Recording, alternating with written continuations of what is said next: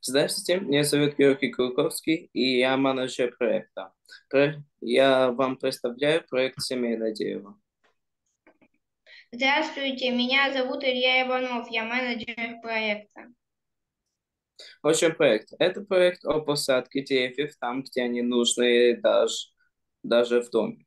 Проект коммерческий, но основное внимание уделяется социальной пользе, а в том числе для каждой конкретной семьи. Важно обучать детей э, тому, как растить деревья в реальной жизни.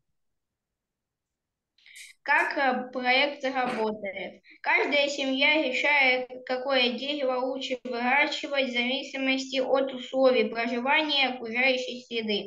Каждый ребенок имеет возможность заботиться о, об атмосфере своего дома и здоровье родных. Выращивая деревья дома, на балконах или внутри квартиры, каждая семья также улучшает состояние воздуха и природы вокруг своего дома и в городе.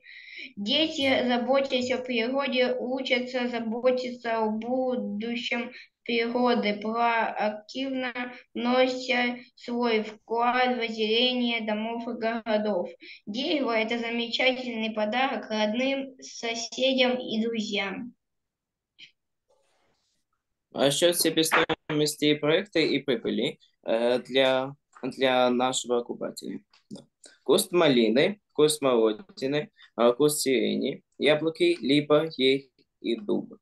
А себестоимости проекта – это стоимость растения и доставка. Прибыль проекта – это себестоимость плюс 5%.